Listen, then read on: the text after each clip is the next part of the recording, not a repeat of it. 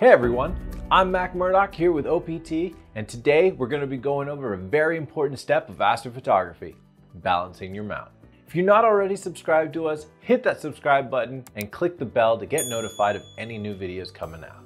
Balancing is pretty simple to do and takes very little time, but it makes the world a difference. A well-balanced mount can mean the difference between a 10-minute unguided exposure or a 30-second exposure with improper balance. Balancing saves your mount from putting too much stress on the gears and allowing your mount to smoothly track the night sky.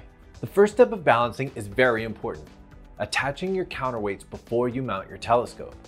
What you don't want to happen is to mount your really nice expensive telescope, hook up your camera, and accidentally unlock the RA clutch, causing your telescope to smash against the legs of your tripod. So first, you put on your counterweights, mount your scope, and add all the accessories and gadgets that you'll be using for your imaging session. I recommend getting a good idea where your focus is and moving it to that spot before balancing. Having the draw tube extend and retract can change the balance. Everyone at some point forgets to take off the lens cap, so remove that as well. After your scope is fully set up with all your cables attached, unlock the right ascension and move the telescope to one side, making sure the telescope and the counterweight shaft is parallel with the ground.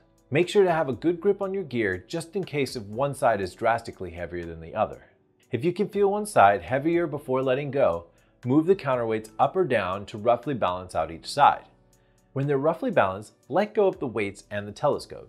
If one side slowly drops, adjust the counterweights until each side stays perfectly still. At this point, you want to lock the right ascension clutch and get a good grip on your telescope. Then unlock the declination axis and if you feel that your telescope is drastically front or back heavy, loosen the mount screws and move the telescope and the dovetail forward or backwards. We recommend you do this in the upright home position, but if you feel comfortable doing it on its side, that's okay too. Just make sure that you have a good grip at all times. When it's roughly balanced, let go of one side. If one side drops, fine tune it by repeating the same process. At this point, you've got a well-balanced mount you can always double check it by moving your telescope in any position and it should stay in the same place. And just like that, you're ready to rock. There are other more advanced techniques like balancing east heavy that we'll cover in another video. Make sure you subscribe to our channel, hit the thumbs up button, and if you have any questions, please don't hesitate to reach out to us here at OPT. We'd be glad to help. Clear skies.